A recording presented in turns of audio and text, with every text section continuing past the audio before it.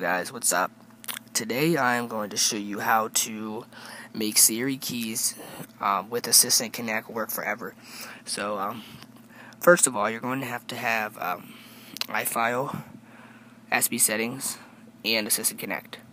Now if you do not have Assistant Connect because you're on 5.1.1 and it does not let you download it then the solution is to go to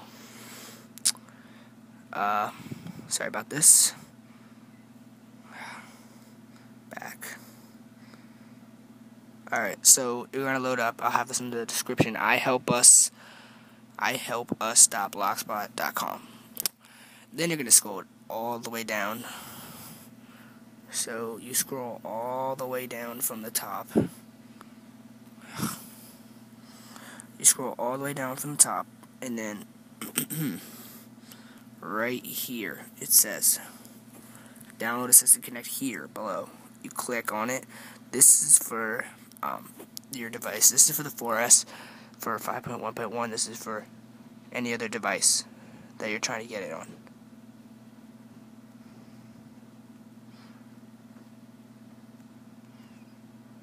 So just click the link.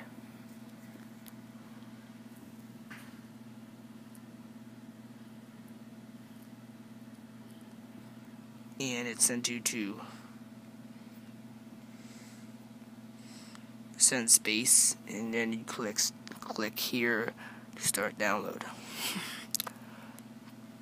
And then you're gonna see assistant connect underscore 1.0.0 dot deb and you're gonna click open an iFile. And then this is gonna open up I have like three copies of this already but so you see it right here. Um, and then that page pops up. You hit installer. I'm not gonna do that again but yeah, you hit installer and then hit done and respring your device. Come back into your device and you should see an application Assistant Connect unless you had it already. Now you're going to have iFile SB settings and Assistant Connect.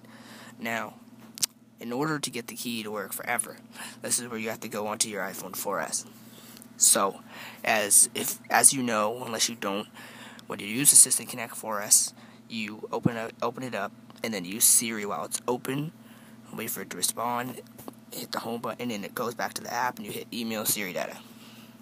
Now, before you do this, if you want to get it to work forever, go to settings on your iPhone 4S, general,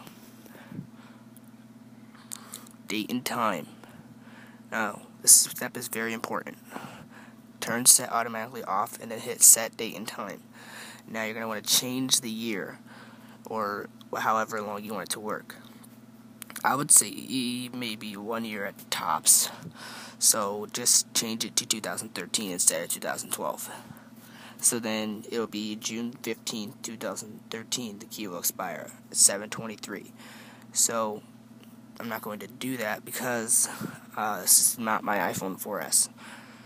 So turn set automatically back on.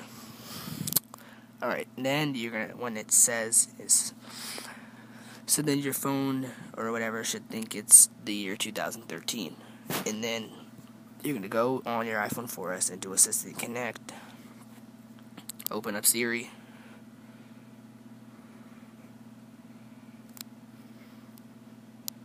Obviously not the 4S version, but wait for it to respond, and then there should be an email Siri data button email it to yourself, and then open up that email on your iPhone 4, iPod Touch, whatever you're getting it on. I actually don't have it set up through email. I have Dropbox, and you click on the arrow and hit Assistant Connect. It should say file loaded successfully, and then it should say expires. Uh, whatever day you're doing this, my, mine would say June 15th, 2013. Then you go into iFile. It's the last step. So uh, go to var, mobile, library. Go down to preferences. we're gonna find com.apple.assistant.plist, the file that everybody uh, dislikes. But this time it's gonna help us. Hit accounts, a dictionary, and then validation expiration. That's what you're going to tap, and you're going to make that match the date of the key if it doesn't already. So if it doesn't already match the date you're doing it, or that date you set it to, say, so it would say um, June 15, 2013 there. Mine says March 22nd because I obviously didn't do this today. But, um, yeah. So just make sure it matches. If it doesn't, then change it to match it. And then hit done. Maybe if you want to, you can respring. You don't have to. But then you come back into your device. And if it doesn't work, or, you know, doesn't work, then you're to go to SB settings and go to mobile substrate add-ons. Turn off spire hooks and spire injector. They should off, be off already, but yeah. spire hooks and spire injector need to be off. And then if you respring and it still does not work, come back into mobile substrate add-ons and turn off Can You Siri Me Now. And then respring and it should work. So yeah, that's pretty much it. How to get keys working forever well, basically not forever, but for a long time. But yeah, that's basically how to get the keys to work for a long time with the Assistant Connect. So thanks for watching. Please subscribe to my channel, like this video if you liked it. If, and if it was helpful, if you have any questions, please leave a comment or personal message me.